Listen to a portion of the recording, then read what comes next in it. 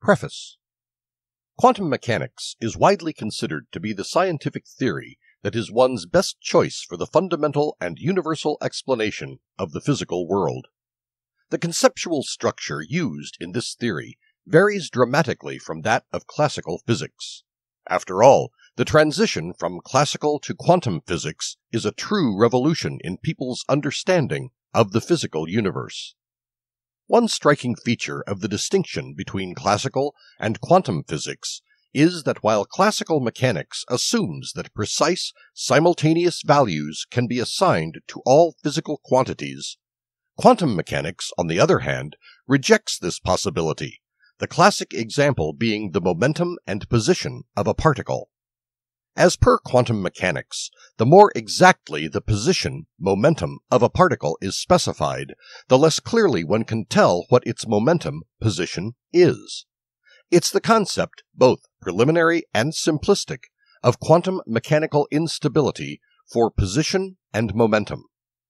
The theory of uncertainty has played a distinguished role in many discussions on the philosophical impacts of quantum mechanics in general during discussions on the accuracy of the so called Copenhagen interpretation, an interpretation supported by the founding fathers of the subject theory, viz., Heisenberg and Bohr. Summary The uncertainty principle, also known as the Heisenberg uncertainty principle or the indeterminacy principle, was formulated in 1927 by the German physicist Werner Heisenberg. It states that the position and momentum of an object cannot be determined exactly at the same time, except in a theoretical domain. In reality, the very definitions of the exact location and exact velocity together have no significance in nature. Ordinary knowledge does not lead to guidance to this theory. It is easy to measure both the position and the momentum of, say, the vehicle, since the uncertainties inherent in this theory for ordinary objects are too minimal to detect. The precise rule stipulates that the product of uncertainty in location and velocity is equal to or greater than a small physical quantity or constant. It is only in the case of extremely small masses of atoms and subatomic particles that the result of uncertainty is important. Any attempt to calculate precisely the velocity of a subatomic particle, such as an electron, would have an unforeseen effect on it, such that the simultaneous calculation of its location is invalid. This finding has little to do with the inadequacy of the measurement devices, the methodology, or the observer. It results from the intimate relation in nature between the particles and the waves in the subatomic dimensional domain. Each particle has a wave associated with it. A particle actually exhibits wave-like action. The particle is most likely to be found in those areas where the waves are strongest or most powerful. Furthermore, the more violent the undulations of the related wave are, the more mal-defined the wavelength becomes, which in turn defines the momentum of the particle. Therefore, a purely localized wave has an indeterminate wavelength, its corresponding particle, though having a certain location, does not have a certain velocity. Contrary to this, a particle wave with a well defined wavelength is spread out.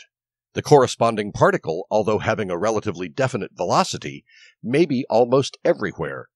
A reasonably precise measurement of one variable entails a relatively significant uncertainty in the calculation of the other. Optionally, the idea of uncertainty is expressed in terms of the momentum and location of the particle. The velocity of a particle is equal to the product's mass times its velocity. Thus, the sum of uncertainty in the momentum and position of the particle is equal to or greater than h over 4 delta, i.e., constant. The principle applies to other similar conjugate pairs of observables, such as time and energy. The product of uncertainty in the energy calculation and uncertainty in the time period during which the measurement is rendered is either equal to or greater than h over 4 delta. In the case of an unstable atom or nucleus, the same relationship occurs between the uncertainty in the amount of energy emitted and the uncertainty in the existence of the unstable system as it makes the transition to a more stable state. The Heisenberg theory of uncertainty is sometimes called the uncertainty principle. Werner Heisenberg hit upon the mystery of the universe. Nothing has a definite location, a definite trajectory, or a definite momentum.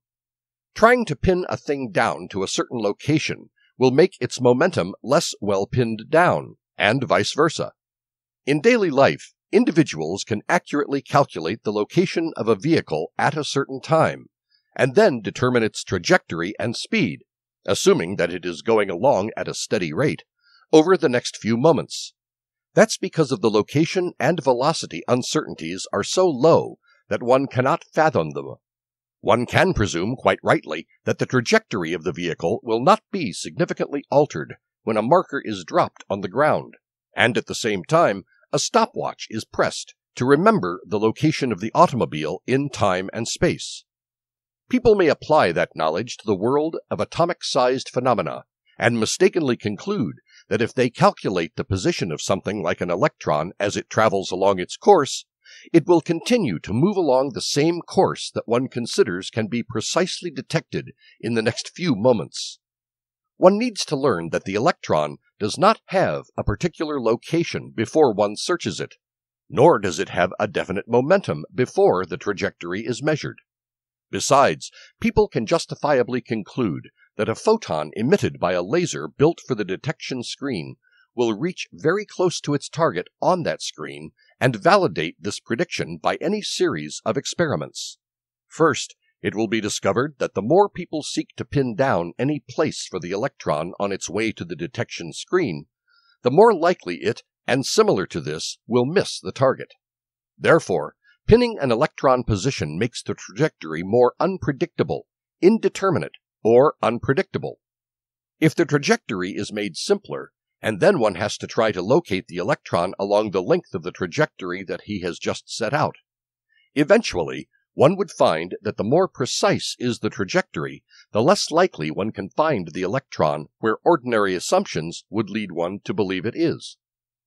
Unexpected implications of the uncertainty character of nature help people's understanding of issues such as nuclear fission, which has given mankind a fresh and powerful source of energy, and quantum tunneling, which is the operating principle of semiconductors that are so relevant to modern computers and other technologies. In technical debates, there is almost always speaking of position and momentum. Momentum is the sum of momentum and mass, and the concept of momentum in physics is the speed that it is moving in a certain direction. So sometimes people can just think about the velocity of the object in question and forget its mass and many times it's easier to understand if they are thinking about the direction or the path that anything follows. The theory also involves concepts of speed and direction. Heisenberg began working on quantum physics by modifying the classical equations for electricity, which were very challenging to begin with, and the mathematics behind his 1925 paper was very difficult to follow.